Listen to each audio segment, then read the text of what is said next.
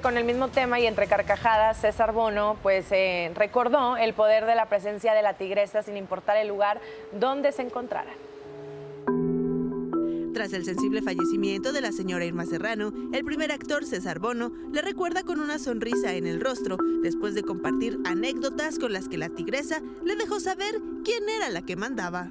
Impresionaba mucho su personalidad, tanto así que un día me cita Sergio Kleiner, un actor muy bueno, argentino, me cita en el Teatro Frufru para una cosa de un trabajo y llego a ver a Sergio Kleiner, pero pues el teatro era de la señora Serrano. Entonces me ve y me dice, oye César, quiero que me hagas una improvisación. Mira, súbete al escenario y resulta que tú eres un príncipe italiano y entras con dos mujeres, dos prostitutas, agárrate a las actrices, una en cada brazo y te entras. Y entonces le quiero explicar que yo no voy a hacer pruebas.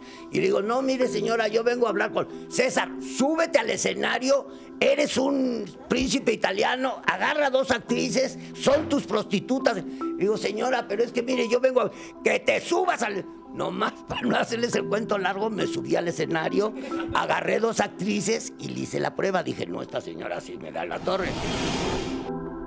Pero esa no fue la primera ni única vez que Bono supo del poder que provocaba la presencia de la señora Irma Serrano. Después de ahí corte a, voy a, una onda de pieles y entonces me dice el dueño de la tienda, César, pruébate este, este abrigo de racún, o sea, de mapache, en inglés racún. Y me pongo el abrigote con unos pelos así, ya sabes. Y entra la señora Serrano y me dice, César, se te ve precioso el abrigo. Y digo, sí, señora, pero mire, la verdad es que México no es un lugar para estos abrigotes. No hace un frío así. Yo no lo voy a comprar, nomás que me, lo, dijeron que me lo probara. Y, se iba la señora, ¿no? A ver cosas para ella. Y regresaba y me decía, te juro que se te ve muy bien, César. Y yo, gracias, señora. Pero mire, no me lo voy a comprar porque el frío... Como a la cuarta vez que me dijo se te ve muy bien, le dije al cuarto de la tienda, quítamelo, quítamelo. Dije, lo voy a acabar este, comprando como lo, lo, de la improvisación y no lo quiero. Y sí me lo quitó y me salí corriendo. Dije, no, sí, sí me imponía mucho.